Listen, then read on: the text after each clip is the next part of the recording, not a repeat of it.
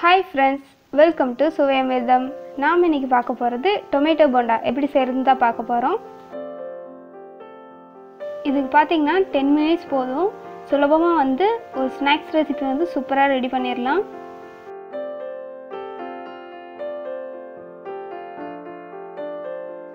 நீங்கள் இன்னும் நம்ம சேனல் சப்ஸ்கிரைப் பண்ணலைன்னா சப்ஸ்கிரைப் பண்ணிக்கிங்க. அது கூட இருக்கிற பெல் ஐக்கானே கிளிக் பண்ணி ஆல்னு செட் பண்ணிக்கிங்க.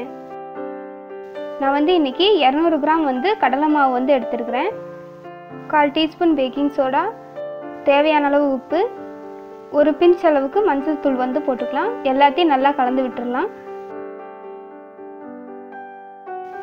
தண்ணி ஊற்றி நல்லா கலந்துக்கலாம். இது பார்த்திங்கன்னா பஜ்ஜி மாவு கலக்கிறத விட கொஞ்சம் கெட்டியாக கலக்கிக்கிங்க. இந்த அளவு இருந்தால் போதும்.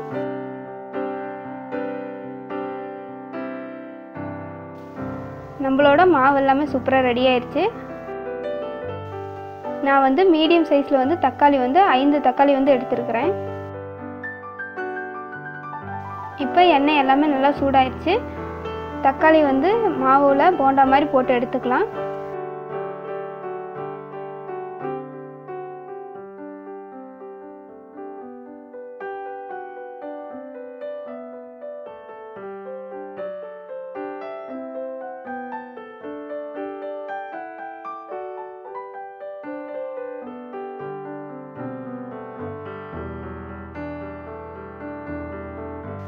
ஒரு பக்கம் வெந்தது திருப்பி போட்டுடலாம்.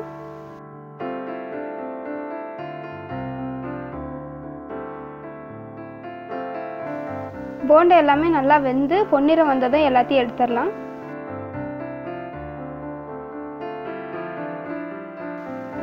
இப்போ மீதி இருக்கிற மாவு பார்த்தீங்கன்னா சின்ன சின்னதாக வந்து போட்டு பொறிச்சு எடுத்துக்குங்க.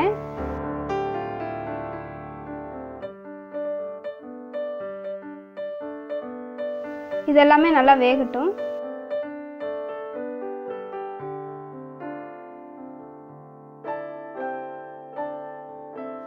மாவு எல்லாமே நல்லா வெந்துருச்சு எல்லாத்தையும் எடுத்துடலாம்.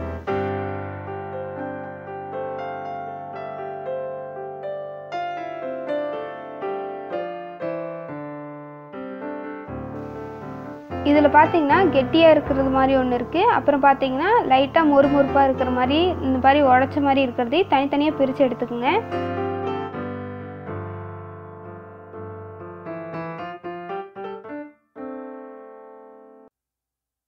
இதெல்லாம் பார்த்தீங்கன்னா நல்லா மொறுமொறுன்னு இருக்கிறது. இதை வந்து கையிலேயே வந்து நசுக்கி விட்டுருங்க. அது வந்து ஒன்றா ரெண்டாக வந்து உடஞ்சிரும்.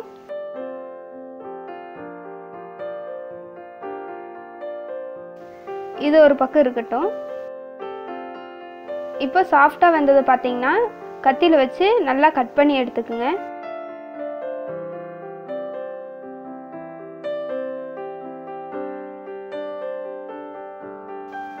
இது எல்லாத்தையுமே கட் பண்ணி எடுத்தாச்சு. இப்போ தக்காளி போண்டா வந்து ரெண்டாக கட் பண்ணிக்கலாம். இந்த மாதிரி ரெண்டாக வந்து கட் பண்ணிக்கலாம் எல்லாத்தையுமே.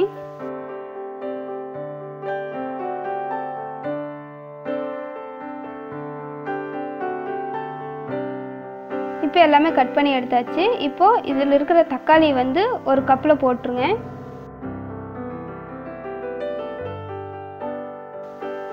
இது எல்லாத்தையுமே நல்லா பிணைஞ்சு விட்டுறலாம். இதில் இருக்கிற வந்து மேல் தோல் எல்லாத்தையுமே எடுத்துடலாம். நான் வந்து இன்றைக்கி ஒரு ரெண்டு மீடியம் சைஸ் வெங்காயத்தை வந்து பொடி பொடியாக நறுக்கி எடுத்து வச்சுருக்கேன். அது இதில் போட்டுடலாம். பச்சை மிளகாய் பார்த்தீங்கன்னா பொடி பொடியாக நறுக்கி எடுத்து வச்சுருக்கேன். அது இதில் போட்டுக்கலாம். கொத்தமல்லி தலை பார்த்திங்கன்னா ஒரு நாலு டீஸ்பூன் வந்து போட்டுடலாம். நம்ம சாஃப்டாக இருக்கிறத கட் பண்ணி வச்சுருக்கிறோமில்ல அதை வந்து இதில் போட்டுட்டு ஒரு ஆஃப் லெமனை வந்து புழிஞ்சு விட்டுட்டு எல்லாத்தையும் நல்லா கலந்து விட்டுடலாம். பச்சை மிளகாய் பார்த்தீங்கன்னா பொடி பொடியாக நறுக்கி போட்டிருக்கேன். உங்களுக்கு சப்போஸ் எனக்கு பச்சை மிளகாய் வேண்டாம் அப்படின்னு தோணுச்சுன்னா நீங்கள் ரெட் சில்லி பவுட்ரு வந்து யூஸ் பண்ணிக்கோங்க. உங்கள் காரத்துக்கு தகுந்த மாதிரி ஆட் பண்ணிக்கோங்க.